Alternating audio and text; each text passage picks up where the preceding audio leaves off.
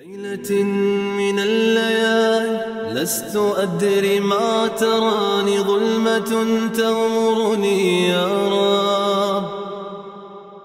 الأرض ضاقت والسماء وقلبي ما عرف الضياء الكريم نبينا محمد وعلى آله وأصحابه أجمعين.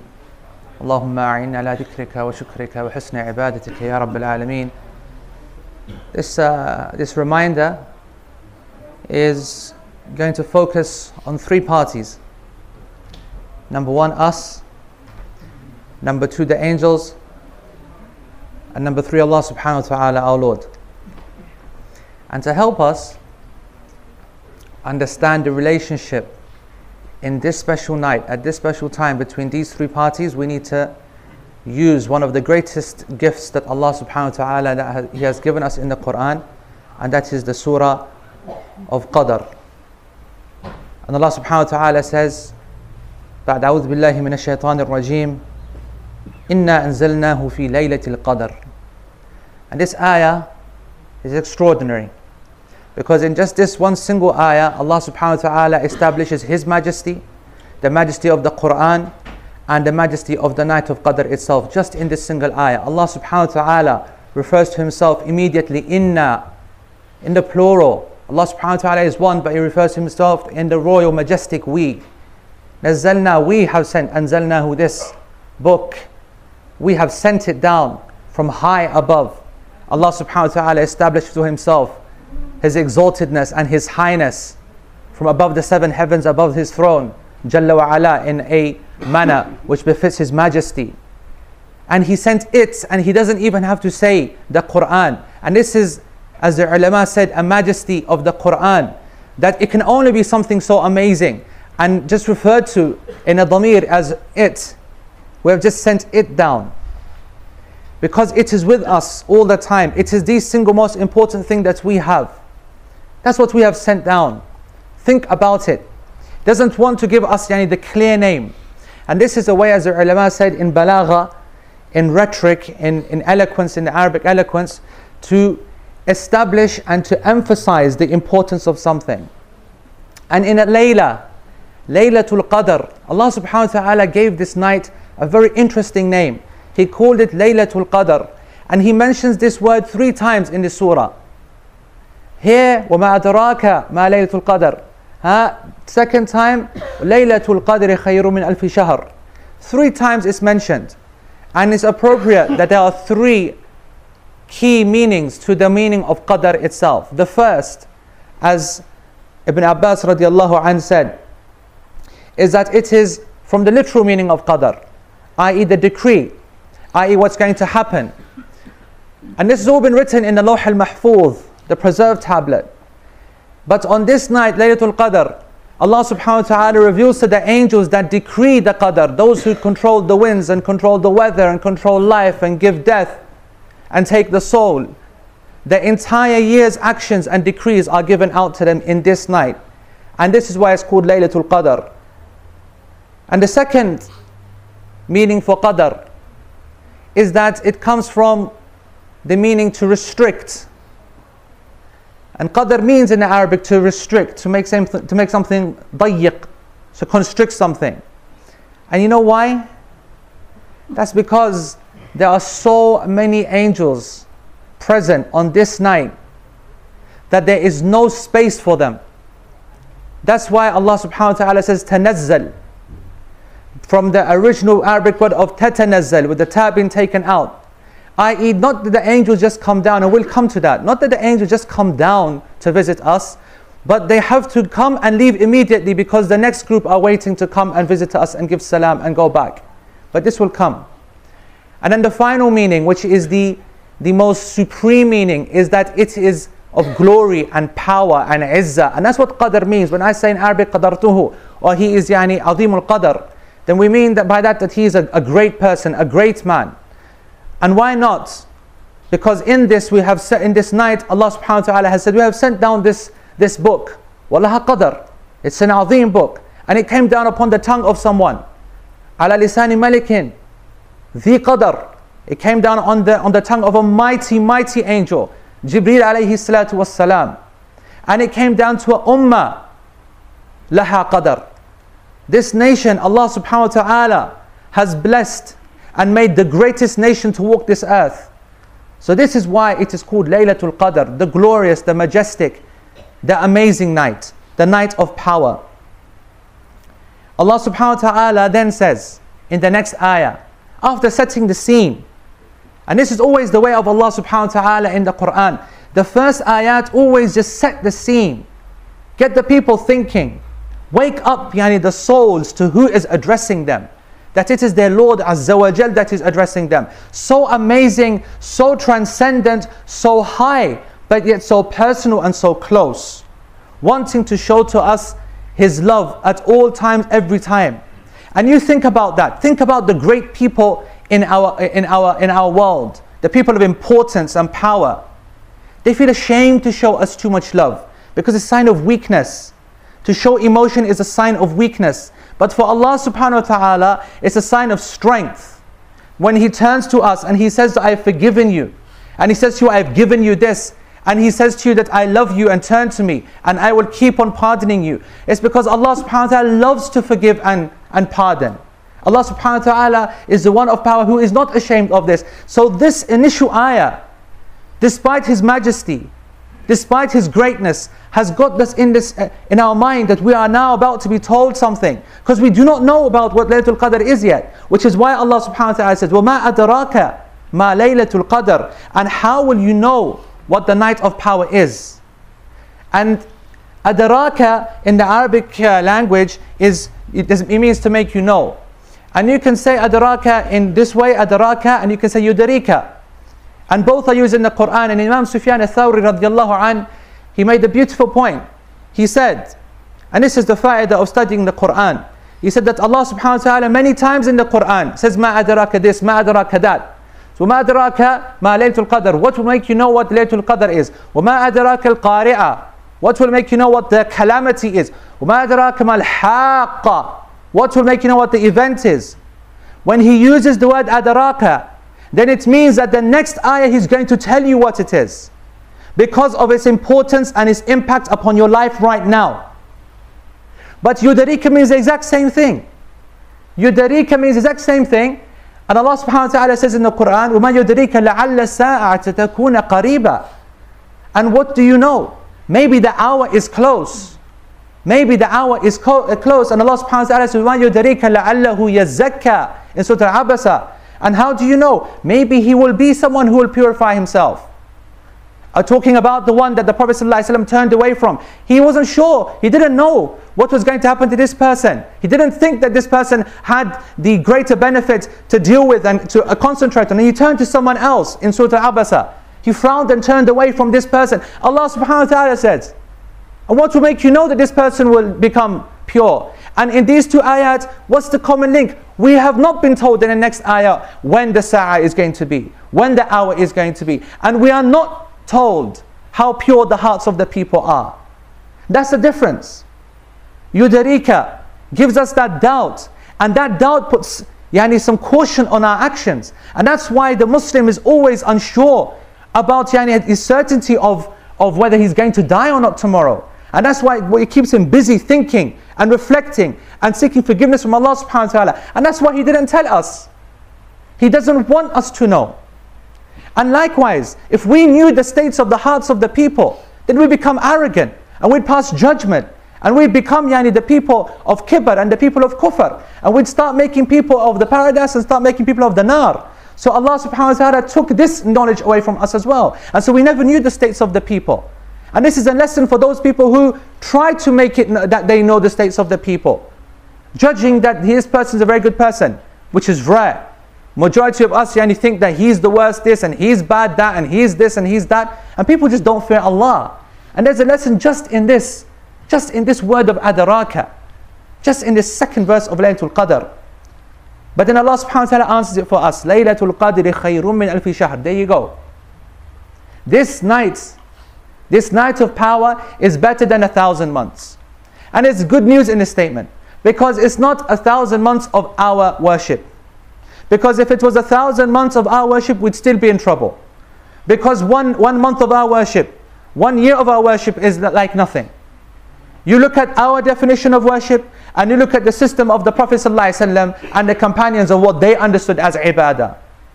Really. I mean, take a topical issue, Taraweeh. Taraweeh, we the Muslims, we love to sit there and we argue, should we pray 8 rak'ah, should we pray 20 rak'ah, should we pray 36 rak'ah, should we pray 41 as they used to do in Medina? They differ and they argue and they split and they don't speak to each other, but they all agree on one thing. It's got to be done in one hour.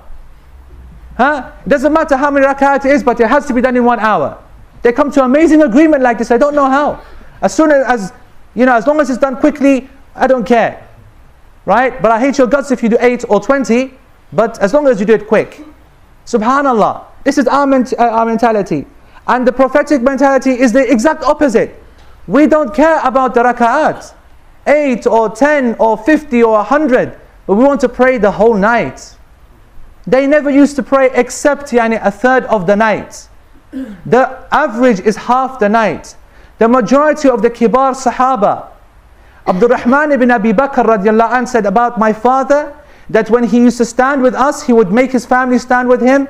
We would start in the early part of the night and we would think that would we have enough time to eat sahri? You think about that. So you, you here straight away, there's a fa'idah. This thousand months, because it's, it's going to get better, good news. This thousand months is not a thousand months of our worship. Even better news, it's not even a thousand months of their worship.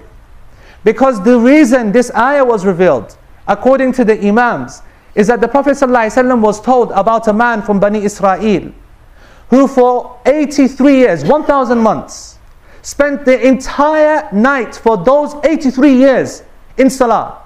The whole night. 83 years. And during the daytime he'd be in jihad all day. And the Prophet ﷺ ta'ajjab. He was shocked. That's something we can't do. And Allah subhanahu wa ta'ala, when He saw this, He gave him this night of Laylatul Qadr. I'll give you this person's worship in one night for my ummah. This is the main reason of the revelation of this ayah. And Imam Malik ibn Anas narrates that the Prophet ﷺ was shown the, the ages of mankind. A'marun nas. And he looked at he looked at them and he realized that his nation, the average age, had been decreased. So he turned and Allah subhanahu wa ta'ala saw the fear in his eyes. What was the fear? He said that my, my nation will not be given enough time to do enough good deeds to get to Jannah. Because our lifespan has been decreased. And the other nations had more time. They had more length of, of time span to get those things done.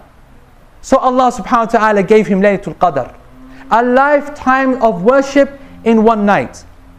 And this is us.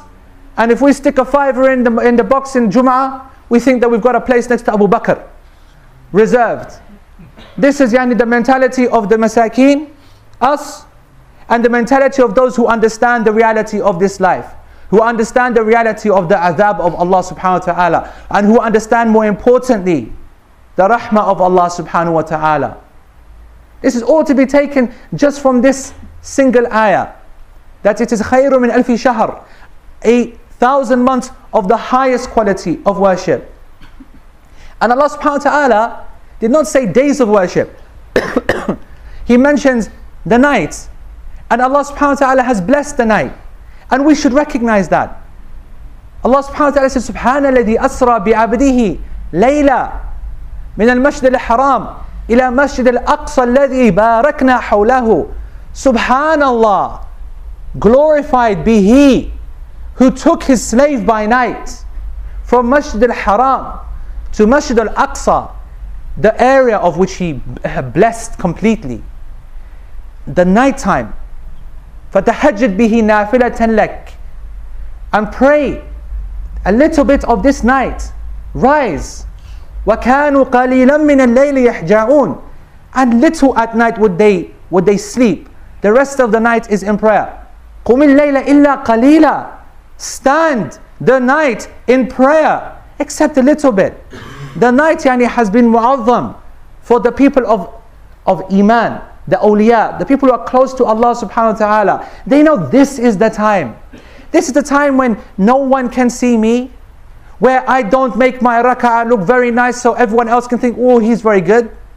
Where I can come to the masjid and pray two after two after two because I know there's loads of people there watching and they thinking this guy really is great. No.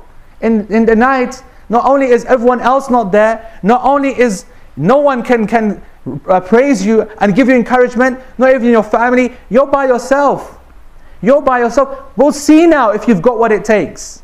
We'll now see if you can step up to the mark. That's why the night has been praised so much.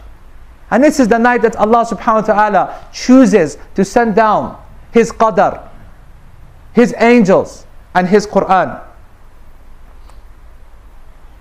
But we were told what we were not told, yani, Allah subhanahu wa ta'ala says, what will, what will you know about what Laylatul Qadr is? But He did not then tell us, خَيْرٌ مِنْ أَلْفِ شَهْرٍ But He did not tell us when. Why did He tells us what it is but does not tell us when? And this is a rahmah for us. How many people can understand in Allah subhanahu wa ta'ala's wisdom? By actually not giving us specific information, He is favoring us. And He has done that with many things. For example, the dua of istijab in, uh, on the day of Jum'ah, there's an hour. I call it the happy hour. Because it's the real happy hour. The hour in which the dua is accepted. But none of the scholars have reached consensus about when this hour is. They don't know. Most of them say it's the last hour before Maghrib, but none can say with certainty. Why? So that the slave does not leave every single thing to that last hour. And he spends the entire day in dua and salawat ala Habib al-Mustafa sallallahu alayhi wasallam. He keeps his mind open. We have not been told about whether Allah subhanahu wa ta'ala is happy with our actions. Because if we knew that if we did the action, Allah was happy with it, we become content. And to become content with yourself in ibadah is from the most greatest dangers that the nations before fell into. And we've not been told whether our repentance has been accepted or not. We've been told how to do it, but not whether it's been accepted or not. So we continue in repentance. And we've not been told when we're going to die. So we can prepare and so that we don't know it's going to be in three weeks' time, so we prepare for it in two weeks' time. This is the system of Allah subhanahu wa ta'ala. And likewise, He hides the exact night of Laylatul Qadr, the 21st, 23rd, 25th, 27th. We don't know. But we masakeen, again, we put all of our eggs in one basket and say 27 and that's it.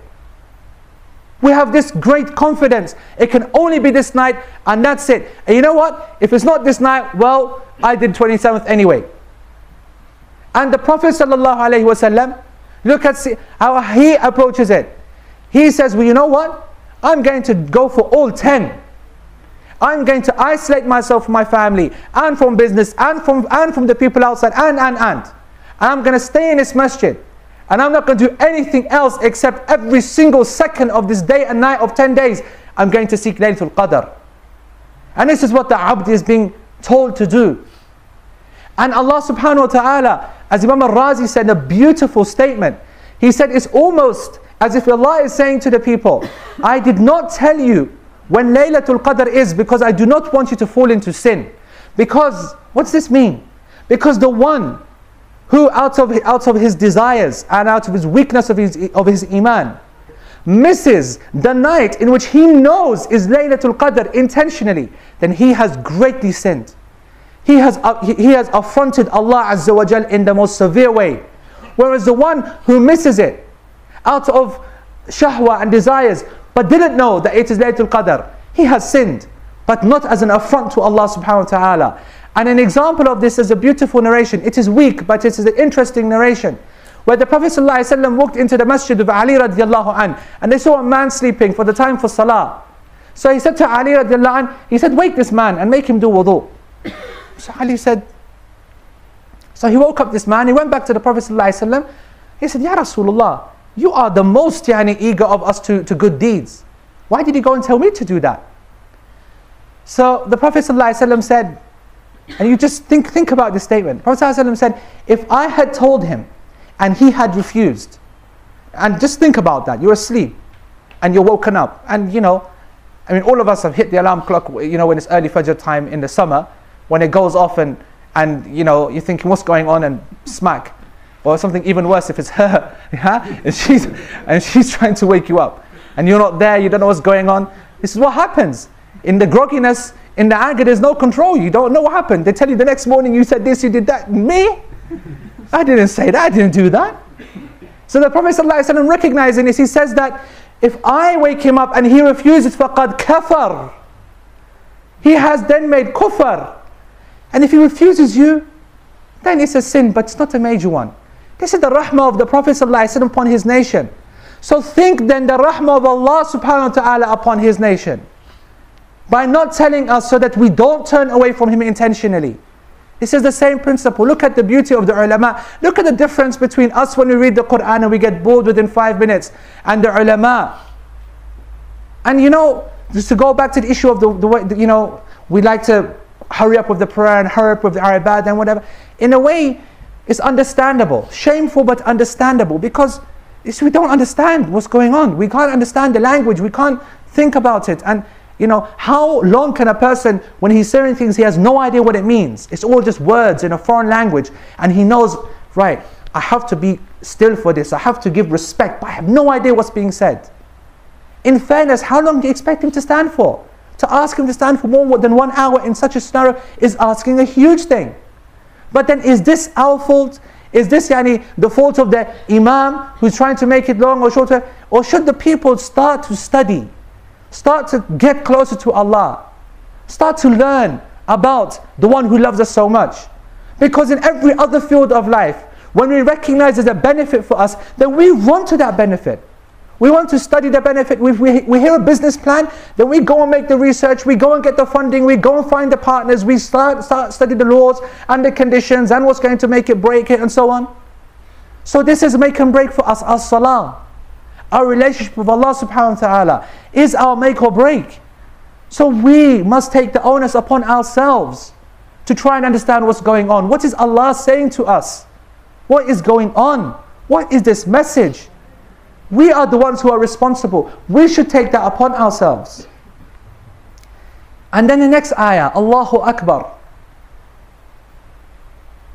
تنزل الملائكة والروح فيها بإذن ربهم من كل أمر تنزل as I said before Laylatul Qadr has been called Laylatul Qadr because it's night of restriction because there's no space تنزل the malaika they are here Salamu alaikum ya malaika because they are here now. They are here now. And you know what? They come and they give salam. And they leave immediately. Allah subhanahu wa ta'ala they visit his Baytul Ma'mur. 70,000 come and then they leave never to come back again. And then 70,000 more come and they give the tahmid and tasbih and then they leave and they don't come back again. Just think of that number every single day. And I was, I was in the car park the other day and I was walking, I don't know why, I was looking at my feet and I saw these stones. And there must be hundreds and thousands of stones just in this little few square meters here. And I read Abu Hurairah radiallahu anh said in the tafsir of this ayah, that on the night of Laylatul Qadr, the malaika are more than all the stones in the world. Can you think about that? Does that, yani, it shakes the mind.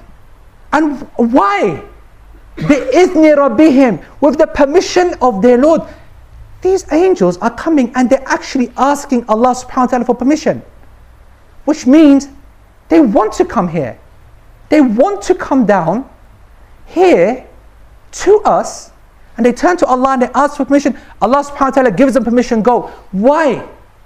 Because the angels love ibadah. Because the angels love those who love Allah. The angels love those who turn to Allah. The angels love the sinners.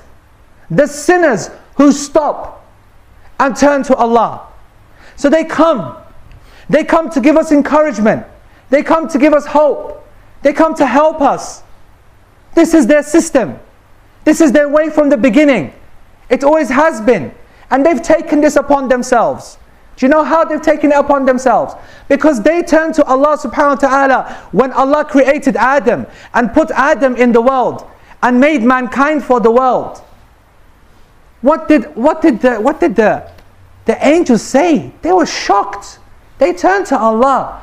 أَتَجَعَلُ فِيهَا من يفسك فيها ويسفق الدماء يفسد فيها ويسفق الدماء ونحن نسبح بحمدك ونقدس لك يعني what's going on They couldn't understand. You're going to put in this world a people, someone who's going to make fasad, evil, and shed blood, and we come and praise you, and we, we sanctify you. Allah says, Inni a'lamu ma la ta'lamun. I know what you don't.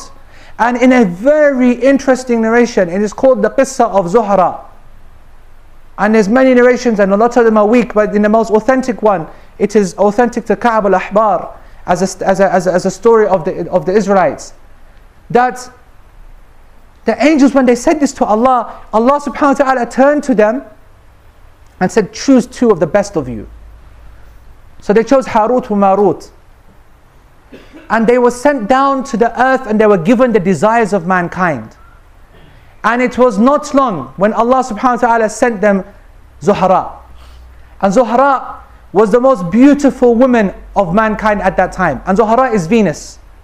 And they used to say that she was as beautiful uh, uh, in comparison to the rest of creation like Venus is to the rest of the stars. And she was sent to send fitna upon them, to do zina, to, do, to drink alcohol and everything. And the heavens were covered the angels were not given the opportunity to see this. And then Allah subhanahu wa ta'ala revealed the heavens. And the angels were shocked to see what the, the two had fallen into. And they turned to Allah. And that's when they said, Subhanaka la ilma, la ilma lana illa ma allamtana. Subhanak ya Allah.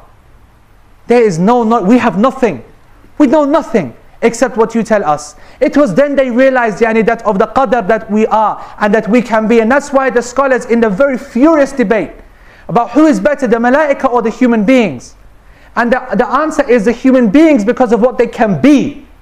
Because of their maqam in the end. Because Allah subhanahu wa ta'ala has given them that choice to accept or abba or that they refuse. So the angels recognize that. So then they in recognition of that. يَسْتَغْفِرُونَ لِلَّذِينَ آمَنُوا Allah tells us in the Quran that they are the ones who come and they seek forgiveness for us, for the people who believe. رَبَّنَا وَسِعَتْ كُلَّ شَيْءٍ رَحْمَةً وَعِلْمًا فاغفر للذين تابوا واتبعوا سبيلك وقهم عذاب الجحيم Look at this, look at the dua, look at the angels how they they're on our side. They're praying for us. They're making dua for us. Oh Allah. They, they, ربنا وسعت كل شيء رحمة وعلما. The one you embrace everything, your mercy and your knowledge embraces everything. Forgive those who repent and follow your way. And protect them and save them from the torment of the fire. ربنا وأدخلهم جنات جنات عدن التي وعدتهم Oh Allah, oh our Lord, the angel said, enter them into the gardens of paradise that you have promised them. ومن صلح من آبائهم وأزواجهم وذرياتهم إنك أنت العزيز الحكيم Think about this. Not just making istighfar for us, but asking Allah to enter us into His paradise. What did we do to deserve that? What did we do to deserve that? But they're here now. Because this is halaqatul ilm. This is halaqatul dhikr where Allah subhanahu wa ta'ala's name is mentioned. This is where they love to be. This is where Allah subhanahu wa ta'ala loves the people to be. The angels go back to Allah in the normal circles of knowledge, in the normal study circles, in the normal Quran circles. They go back to Allah and they say so and so was making tasbih and tahmeed and saying la ilaha illallah and studying and so on. And Allah says, what were they asking for? And he said, the Malaika say, they were begging for, for your paradise. Have they seen my paradise? Allah says, no, they haven't. So what if they had seen my paradise? They would be more keen for it, Ya Allah. And what else are they asking for? And Allah subhanahu wa ta'ala knows, knows this, of course. He knows this, but it's a, it's a teaching for us so that we understand who Allah is and we understand who the malaika are. Have they seen the fire that they're asking protection for? No. And if they'd seen the fire, they'd be more stronger in that. What else, oh angels? Oh, there's a person who's walking by, but he sat down on the edge. He's not really part of the show, but you know, he's taking part. Maybe he's driving past here and he thinks, oh, there's a lot of cars there. Maybe just pop in here and see what's going on. Maybe he's, he's in there somewhere. He had no intention of anything, but he just popped in. Allah says he's forgiven as well. Pardon. And this is the rahmah of Allah. This is yani, this is what we're talking about. That's not a normal circle of knowledge. Then what in this night, where millions upon millions of angels are coming down? Salamun. Salamun. Here hatta matla al-fajr. Why is it salam? Why is it peace? Because the angels won't let it be any other way. The devils haven't got a haven't got a hope in hell. Huh? How relevant is that? They haven't got a hope in hell this night. No chance. That's why they said, some of the ulama said, that in the authentic hadith, one of the signs of Laylatul Qadr the next morning is that the sun is bright, but it's a white light instead of its normal, you know, bright yellow, and the rays come down. But the night, the, the morning of Laylatul Qadr, the sun is clear, but there's no rays. And they said because of the wings of the malaika, there's so many that they block the rays. The mind can't understand that. The mind cannot understand that. And did you hear, did you, did you realize that تنزل الملائكة والروح Again the izzah for Jibreel alayhi salam teaching us who the key players are. And Jibreel is a key player. My brothers and sisters, Jibreel alayhi salatu was salam, the greatest of the great. He comes down on this night.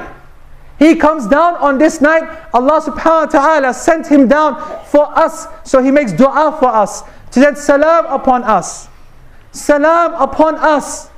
And don't take the salam of the malaika as some small thing. Allah subhanahu wa ta'ala says in the Quran, هل أتاك حديث ضيف إبراهيم المكرمين Did you hear about the story of the guests, the honorable guests of of Ibrahim, the seven angels. إِذْ دَخَلُوا عَلَيْهِ فَقَالُوا السَّلَامَ They entered upon him and said to him, Salam. And as a result of this salam, bardan salama. The fire of Nimrod, when Ibrahim was thrown into that fire, because of the salam of the malaika, the fire became cold for him. This is the salam of seven angels. Seven angels. And in this night, they come in their millions and their millions sending salam upon us. Assalamu alaikum ya fulan. Assalamu alaikum ya fulan. Oh Allah forgive fulan. Oh Allah forgive fulan. This is the night that we are in at this moment. This is where we are. We don't need to, you know, to make up, you know, rhetoric and catchy lines to tell everyone to worship. All I want to do is everyone just reflect upon the book of Allah and what is happening tonight. I don't need to tell you any ahadith. I don't need to, you know what? I'm going to mention it to you only out of ikhbar. I'm not going to say to you that the Prophet ﷺ said, Man qama laylatul qadr iman wa ihtisaban ghufira lahu ma taqaddama min dhanbih. That whoever stands in qiyam, the night of Laylatul Qadr, iman and ihtisaban, in hope and in faith of the reward from Allah, all of his sins are forgiven. But wallahi, I was not going to mention this hadith today. You know why? Because for me, this hadith is not needed. Because when the abd understands that the malaika are here and he gets that encouragement that yani, when he is trying to turn to Allah, the malaika will come and help him and support him. This should be enough for all the people to turn to Allah subhanahu wa ta'ala. Here hatta matla al-fajr. And in the end of this surah, it is all night. And look at the beauty. Not just a small portion but the entire night. So much so that just by being here until now, we've taken two portions of Laylatul Qadr because the Imam of At-Tabi'in, Hassan al-Basri said, the one who prays Maghrib and Isha in Jama'ah has taken two hadh from Laylatul Qadr. We have already taken from Laylatul Qadr, insha'Allah. This is the rahmah of Allah subhanahu wa ta'ala that He has given to us. And, you know, I think, wallahi, all we need to do is just reflect. Just reflect simply upon, in conclusion, just reflect upon Allah subhanahu wa ta'ala. You know, if there was a person who was an outsider from this whole kind of religion and deen and just like an observer, huh?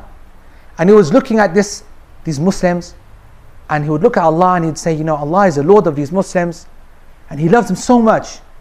He loves them so much and He gives and He gives and He gives.